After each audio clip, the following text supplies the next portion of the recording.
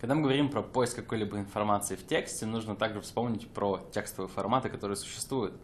Текстовые форматы у нас бывают разные, они представляют разные данные, и мы сейчас поговорим про табличный формат CSV, или Comma Separated Values, или значения, разделенные запятой. В общем случае файл в CSV формате выглядит очень просто. У нас есть какие-то значения, которые разделены запятой. В нашем случае первая строка — это шапка нашей таблицы. У нас здесь сказано, что у нас есть имя, фамилия э, и баллы в первом, во втором и третьем модуле.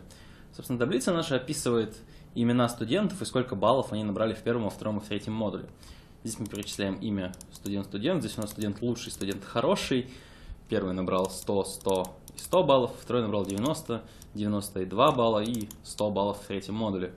Данный формат идеально подходит для того, чтобы хранить табличные данные, потому что он не хранит, по сути, в себе ничего лишнего. У нас есть представление наших данных, будь то числа или строки, и они разделены между собой запятой. Все крайне просто. В языке Python есть встроенная библиотека CSV для работы с файлами в таком формате. Мы можем открыть наш файл на чтение и затем передать его в конструктор класса reader. А, он является итерируемым, то есть у него есть итератор, и мы можем перебирать с помощью данного итератора строки нашей таблицы первый резонный вопрос, который можно задать, а зачем нам для этого целая отдельная библиотека? Казалось бы, можем считать наш файл построчно, разбить каждую строку по запятой и получить те же самые листы, которые мы получили с помощью данной библиотеки. Ответ заключается в том, что мы не всегда на самом деле можем это сделать, потому что существуют еще дополнительные правила. Например, может оказаться, что мы хотим использовать запятую не только в качестве разделителя в нашей таблице. Например, мы можем захотеть отделить дробную часть от целой части нашего числа. Например, в данном примере мы использовали точку для того, чтобы отделить э, дробную часть от целочисленной части. И если мы живем с вами в России, то на самом деле мы бы использовали запятую, и тогда, когда мы запустили данный код, то мы бы увидели, что у нас появилось одно лишнее значение в строке, чего мы, конечно же, не планировали. Однако, используя CSV формат, вы всегда можете изолировать отдельное значение вне зависимости от того, какие символы в нем используются. Для этого вы можете использовать двойные кавычки. Когда вы закроете данное значение в двойные кавычки, вы исполните код, то вы убедитесь, что данное значение не попало в отдельный элемент нашей таблицы. Теперь мы точно не отделались считыванием построчно и сплитом по запятой, потому что когда бы мы считали последнюю строку и посплитили бы по запятой, у нас бы получился элемент, который содержал бы себе кавычку, который бы мы никак не обработали. А вот библиотека CSV умеет, и она умеет еще больше. Например, мы описываем таблицу построчно, то есть мы говорим, что в строке через запятую у нас будут следовать элементы данной строки. А что если мы хотим, чтобы нашим элементом строки было что-то, что содержит в себе перенос строки? Предположим, что в нашей таблице мы бы хотели еще составить и описание для каждого студента. Ну, у нас есть лучший студент, который заработал максимальный балл в нашем курсе, поэтому мы сразу поставим комментарий, что у него идеальное количество очков. А для второго студента мы скажем, что его количество очков хорошее, но вообще мы думаем, что он бы мог постараться и лучше. Ну и в том случае, когда мы считаем, что весь данный текст является отдельным элементом нашей таблицы именно в третьей строке, мы опять же все это дело кидаем в кавычки, мы можем запустить данный код и убедиться в том, что несмотря на то, что у нас был перенос строки, это все засчиталось в качестве второй строки нашей таблицы. Таким образом, в библиотеке CSV учтены все те мелочи, которые очень легко забыть, если бы вы пытались считать все элементы таблицы сами из этого документа. Но что самое замечательное в данной библиотеке, так это то, что мы можем сами явно указать э, знак разделителя или, допустим, какой символ использовать вместо кавычки.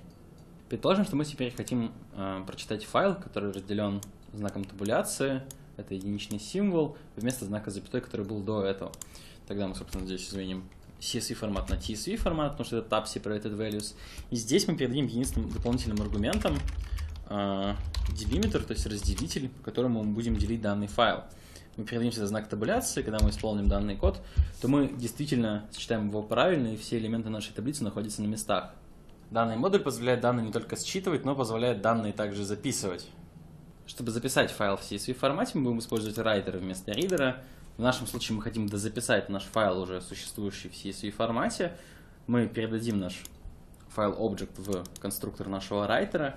И что самое главное, у райтера есть метод writeRow, который будет записывать строку. Он понимает список. В нашем случае мы описали двух студентов с какой-то успеваемостью с каким-то комментарием. И когда мы данный код запустим, то мы действительно убедимся в том, что мы записали двух новых студентов в конец нашей таблицы. Примечательно, что райтер по дефолту знает, когда ему нужно поместить значение внутрь кавычек, потому что он, допустим, содержит в себе специальный символ, который в нашем случае является разделителем. А, также райтер содержит на самом деле метод writeRows, который сразу позволяет передать а, список списков со значениями, которые мы хотим записать. То есть мы могли не итерироваться по нашему списку, а сразу записать несколько строк, используя метод writeRows, и мы действительно их записали в конец файла. Также мы можем уточнять некоторые поведения, которые нам требуются при записи. Например, мы можем сказать райтеру, что нам интересно поместить в кавычки все значения, которые мы записываем. Для этого мы можем передать специальный аргумент quoting внутри нашего конструктора writer, и внутри библиотеки CSV существует пара констант, которые соответствуют тому, что нужно поместить внутрь кавычек, а что не нужно. Если мы, допустим, используем quote all, то мы говорим, что нам нужно поместить все значения, которые мы записываем внутрь кавычек, и тогда так оно и произойдет. А если мы, допустим, используем quote non-numeric, то мы говорим все нечисловые значения поместить внутрь кавычек. И когда мы записываем данную таблицу, то числовые данные у нас представляются обычным образом, а строчные у нас помещаются в кавычки.